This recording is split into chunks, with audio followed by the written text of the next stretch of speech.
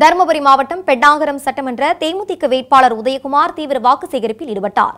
பெண்ணாகரம் சட்டமன்ற தொகுதியில் போட்டியிடும் தேமுதிக வேட்பாளர் உதயகுமார் பள்ளிப்பட்டி வேலம்பட்டி சிட்லகாரம்பட்டி உள்ளிட்ட அறுபதுக்கும் மேற்பட்ட கிராமங்களுக்கு சென்று முரசு சின்னத்திற்கு வாக்கு சேகரித்தார்.